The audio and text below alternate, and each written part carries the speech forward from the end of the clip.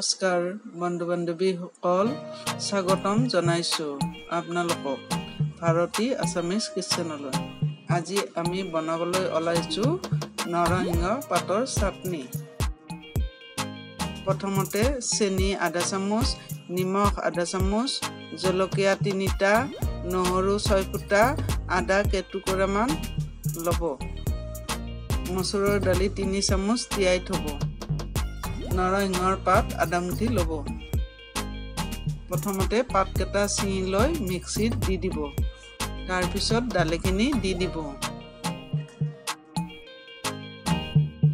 তাৰপিছত আদা নহৰু জলকীয়া চেনি নিমখখিনি ঢালি দিব।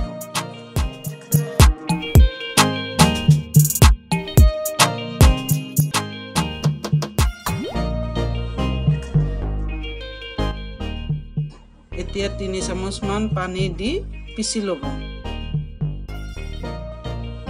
এয়া আমাৰ নৰসিংহ পাতৰ চাটনি তৈয়াৰ হৈ গ'ল।